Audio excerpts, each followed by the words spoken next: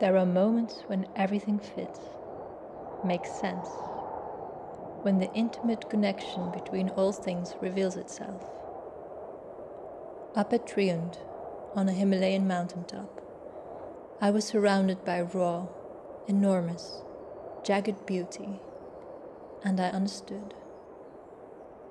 Crows were swooping and gliding through the air, chasing each other, being experts at playing. A forest of rhododendron trees wore wilted red flowers like an intense and implicit sadness.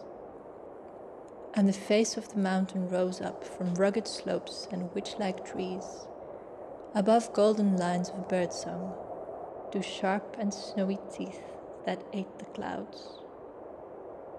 There was so much beauty that it hurt to look at.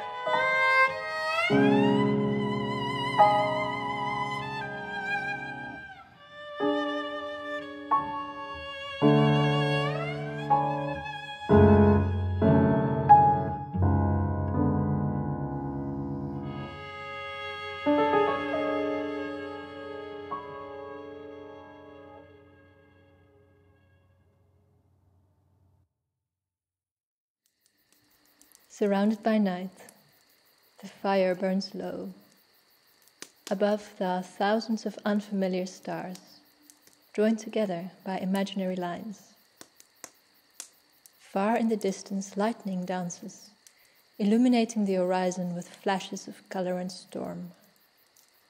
And around me, a cloak of velvety midnight, graced with the calls of night birds ghosting through the air like spirits.